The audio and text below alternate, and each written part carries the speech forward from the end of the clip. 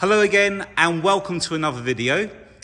This is our end of May 2019 Mercedes-Benz GLC 250 petrol AMG Night Edition with the Premium Plus pack, automatic, so nine speed automatic.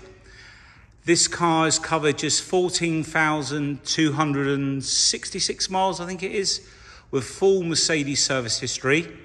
It's a one owner vehicle from new, finished in selenite grey metallic. So the night edition basically has like the black pack. So you've got the black grills and the black around the windows, black wing mirrors, black and diamond cut wheels. So it really contrasts really nicely with the metallic grey paintwork. Now the entire car has been machine polished and has come up absolutely beautiful as always. I'm going to bring you down low on this side first just so that you can see down the side of the car and with that reflection you can just see that there's not been any damage on the vehicle. You can see that the panels are nice and sharp and clean, no ripples at all. It's a very genuine car this. We've got the LED headlights as well and the black gloss trim at the very bottom, which is usually chrome. I'll just come up. Now, this has also got a few nice extras. The car's fitted with the 360 cameras. So you've got cameras underneath the wing mirrors and one just below the Mercedes grille just here. Now the front bumper has, it's not really got any peppering on it at all. I can't really, I'm just scanning around. No, there's nothing down there. And if you look at those headlights, it's obviously very low mileage, so it's not really had a lot of use. There's no little chips in the headlights at all. Got front parking sensors, park assist, sort of self-park. Bring you back out, show you this side, and you can see that reflection again. We've got the running boards on the side as well. I'm going to bring you over the bonnet now. So I'm just going to move nice and slowly across the front here. You can just see how nice it is in night edition. You've got the black Mercedes badge there as well. So no chips there. And if I move further back across the bonnet, you can see there is no damage up there. Nothing on the wings. And one thing I'm going to point out, there's a chip on the windscreen here now we've got a brand new windscreen behind me, which came from Mercedes. We've got the panoramic roof. And as I say, black gloss wing mirrors. Now we haven't had the screen fitted yet because they're busy and they can't get in till maybe the end of the week. And I wanted to get the video done so that we could show you the vehicle. Now, what I'll do, I'm just gonna bring you round. the windscreen's over on the side, but it's over there. This is the bill and it's all paid for. Windshield. You see how much it was and then we've got to pay for fitting. So we knew that that needed to be replaced. It's just a bit unfortunate that a stone came up and hit it. Now we've got servicing 2020 oil change, all done by Mercedes-Benz Group. Then again in 2021, done by Mercedes-Benz. And then November 2022. And that was the biggest service with the spark plugs were done as well. Just see, I get that in focus. So not due another service to the end of the year. Oh, and uh, one owner, no previous owners. We've obviously got to stamp out previous owners. We're not allowed to show people's addresses. So I just wanted to point that out. That will be replaced and it is from Mercedes. So, you know, it's going to have exactly the same screen. So really nice colour this. So there we have it. Now let's have a look at the wheels. None of the wheels have got any damage on them. Going to check the tyres Five and a half to six mil on the front one. Same on the back, Pirelli Scorpion. I think they're Verde. So all of the wheels in really nice condition. Now if I come around like so, all of the tail lights have been machine polished. If I get down low, see the bumper down there. No damage, no damage on the tailgate. Obviously you get reverse cameras, part of the 360 cameras. All those exhausts shining as well. And the rear cameras fold away on these, so it keeps them clean. So when you do need to see out the back, you're not uh, impaired by mud or dirty water that's got onto the camera. Just show you around the filler cap. Again, no damage. And I think, yeah, these tyres are all the same. All matching and lots of tread. No damage on the side steps. Show you front wheel, no damage. Yeah, so all those tyres, I'd say they're on a good six mil actually. I'm used to putting my fingers in the tread to measure them. And there's generally a bit more on them. So really nice looking vehicle.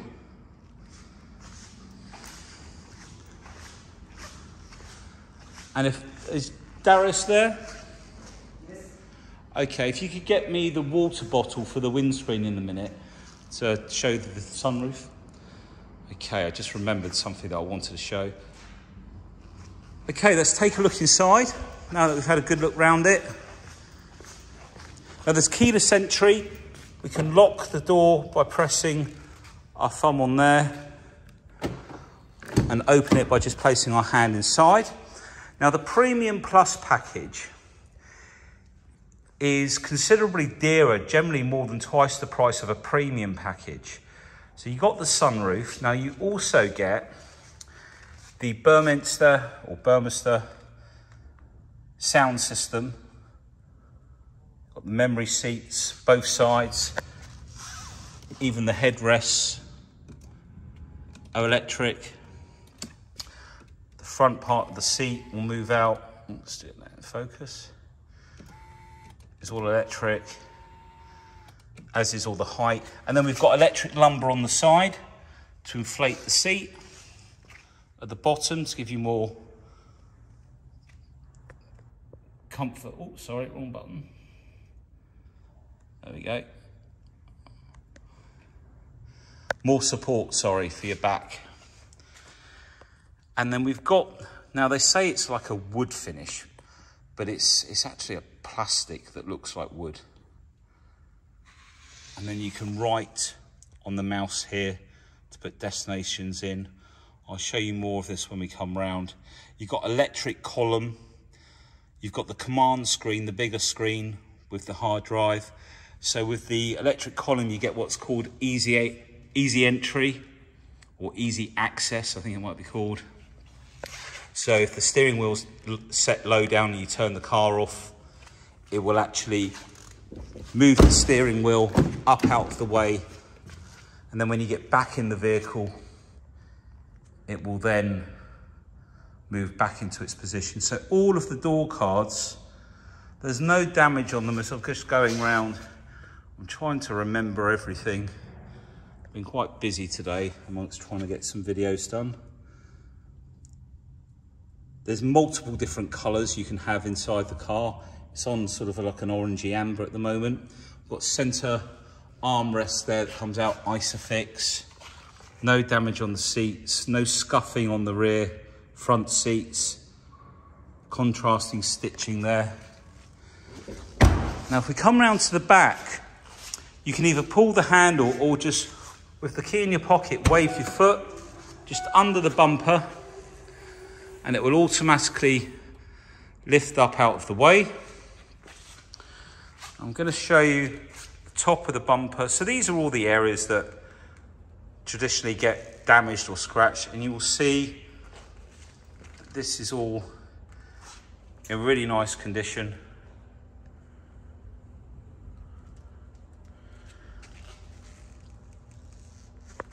And all of the carpets. Now you've got like a quick release button, whoops, sorry, in the back, just on the side here. Now if you pull that, the seat will just drop down. If we look under here, we've got quite a lot of space under here. The plastic square there actually turns into a box, like folds down flat. You've got some netting, which I think clips in behind the back seats. You've got a cargo net, locking wheel nut, triangle, first aid kit, and quite a bit of storage room under there. Oh, and you can also I think that parcel shelf might fit under there, but okay. Now, if we look up on the top here, no scratches. Quite often these can get quite badly scuffed, but no damage up there. And then because we've got the keyless entry, we can not, uh, not only just uh, lower the tailgate from here, but you can completely lock the car up with the padlock button. Or again, just waving your foot underneath like so. The boot will close down on its own, which is a really great feature if you're trying to carry a box out of the car or into the car, all nice and clean in here. And uh, very importantly, it will run on E5, E10 fuel, 95 octane. All your tyre pressures are in there. Open up the back door here. We just move that seat back up. Again, door card on this side, no damage, no punctures on uh, puncture wounds in the final at all. No damage around here. Check out the seat. That's just a bit of fluff. Yep, it is. Let's get that out of the car. There we go.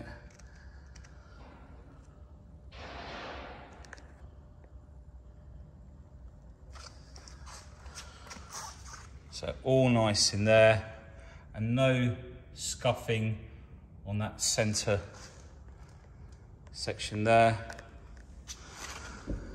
I've checked all the door edges. All the door edges are nice. No damage on those. All around the door handle here. Really nice condition. Just turn these lights off for a second. Okay. Driver's door card, again, no damage. No damage down the edge. Also puddle lights at the bottom there. And illuminated door sills both sides at the front. All the original badges. Driver's seat. Centre armrest no damage there. Steering wheel, really nice condition. And then we've got buttons there for the 360 cameras, your lights, parking brake as well. Okay, I'm just gonna grab the key. Actually, let's just show you. Oh, the light is uh, very difficult for me today. There we go.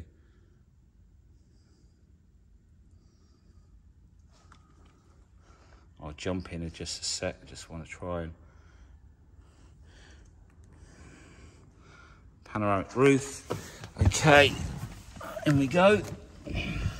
So keyless start.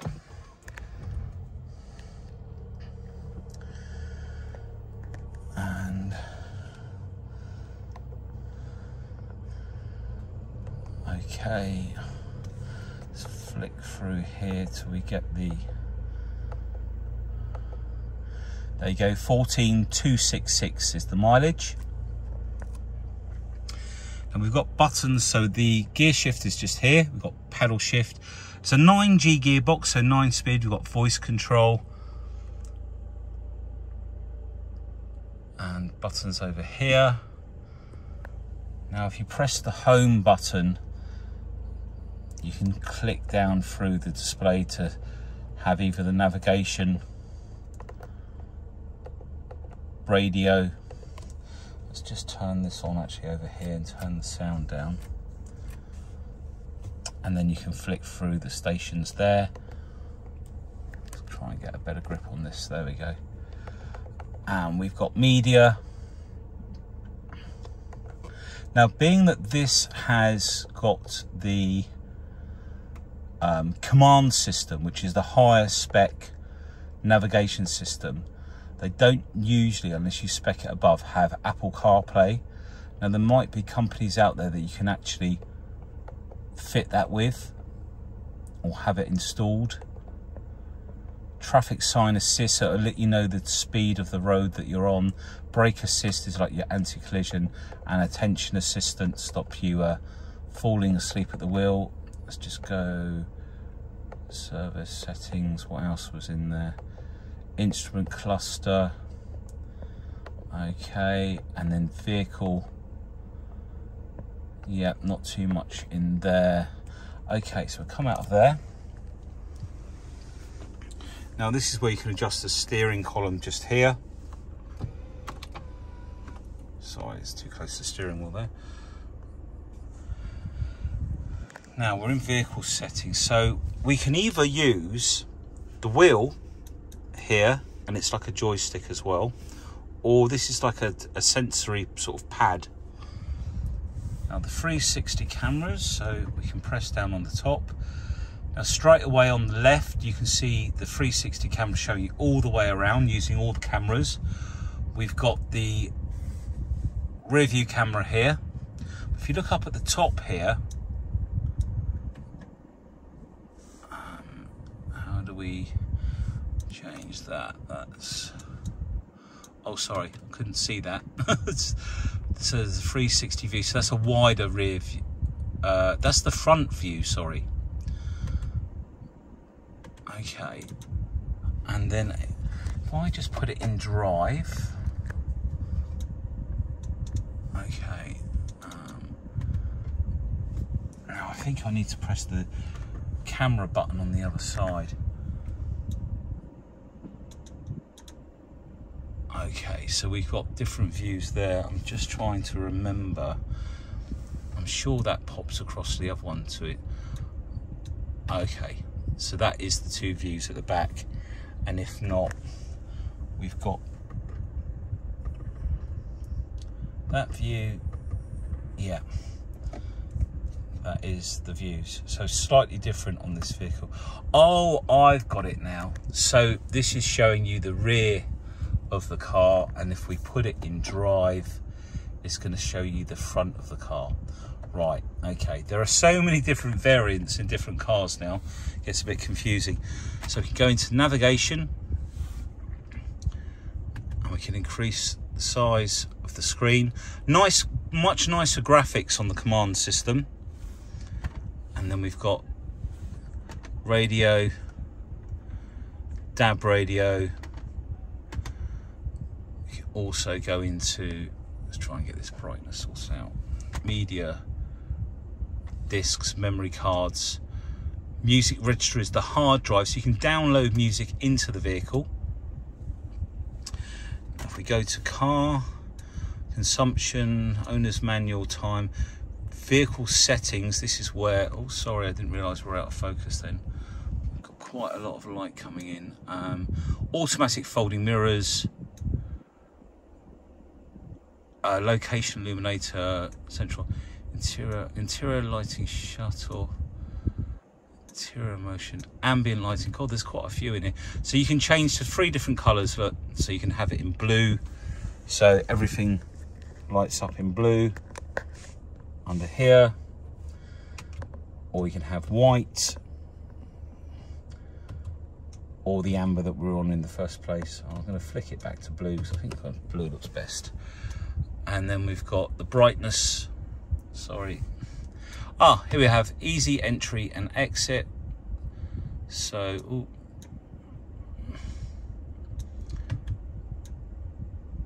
where did that go? There it is. I'm trying to watch the screen and look at this at the same time. So that's on now. So in fact, I'll show you that. So steering wheel, as soon as I open the door, that steering wheel just moved up. And then if you watch as I start the vehicle, it just moves down into position. Okay, now the other switches we have, so we've got volume here, traction control, turn off the stop start, manual control for the gearbox, so you can hold it manual, and then you've got your dynamic um, driving. Now, if I hold this a bit closer, I'm hoping the light coming through the window. There we go. So we've got economy, comfort, sport, and sport plus and then the last one should be individual which we can adapt so we can choose we've highlighted the engine so we click into that we can have that on comfort sport plus sport or economy so we'll put it on sport for example and then we can have the climate control so this adjusts the amount of power that the engine will take to run the climate and the air conditioning. We can put that on economy or comfort. Stop start on or off. And then the weight of the steering comfort or sport. So you can adapt that one to suit your needs. The other thing I was just going to show you, we can synchronize the climate control just here. Now this button, if you pull this down, that brings up your climate. If I press that synchronize button, you can flip it to two different temperatures for either side of the car. Fan speeds over here. So we've still got functional buttons to change things, which I like. And you've got your um, temperatures either side. Shortcuts for the media there. We've got a 12 volt socket in here. This uh, is a cup holder that you can take out. I'm just trying to remember which way. Oh, that's locked in. And then you can just take it out if you want a bit more room in there. And then you can lock it off. And then in here, put your leads to charge your USB. You've got an SD card as well in there. Plenty of space. Okay, now that's, um, we've got an electric blind. And then the panoramic roof will open all the way back. I think there are two positions, so it might just stop. Just gonna have to put that temperature up, it's getting a bit cold. And the blind back. Now, I've done that for a reason, because I want one of the guys to open the bonnet for me. I'm running out of hands, so, okay. So we'll jump out. Thanks, Darius. And you've got a spray. Okay. So just going to show you under the bonnet here. So 208 brake horsepower on this engine. Like I say, nine-speed gearbox.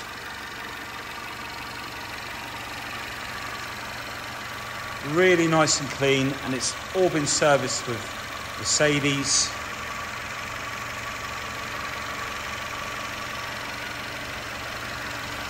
and that's it's running. I'm just going to turn it off for a second and grab the key.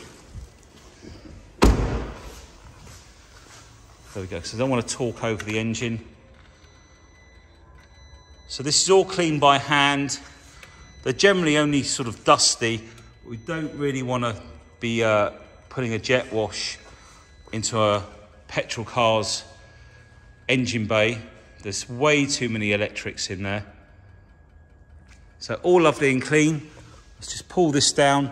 Always good to bring it down to about 12 inches and then just slam it from there. Now imagine we've gone out for lunch. We've left the roof open. We've locked the car up, so we'll just put our finger on here to lock it. And Darius is just going to come round the other side and it begins to rain. There's a sensor just up on the top of the screen there. and you'll see that automatically the roof will close and it will leave itself in the vented position. So your car basically won't get full of water, but it'll let the heat out on a hot sunny day, sunny day when you get that little storm shower come over. So very clever, beautiful looking vehicle. We've got lots of various finance options from HP, PCP, lease purchase, and uh, the rates just come down to 9.9, which is good.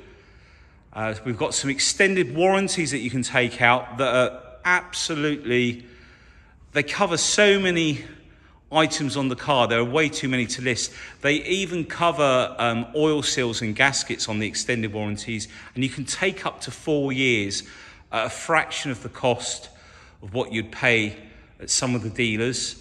And you can take various different claim limits, the maximum being up to the value of the vehicle. Thank you for taking the time to watch the video. Look, to, uh, look forward to hearing from you. Thank you very much. Bye.